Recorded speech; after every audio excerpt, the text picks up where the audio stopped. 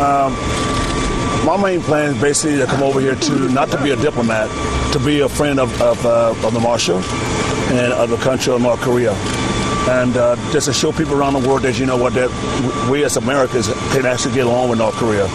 And uh, I'm an athlete, and uh, and I know that uh, the marshal, he loves sports. He loves basketball. And so I, I, guess that me and him have something in common. So let's come over here to visit him, to see how he's doing, see how the family's doing, and just revisit the country.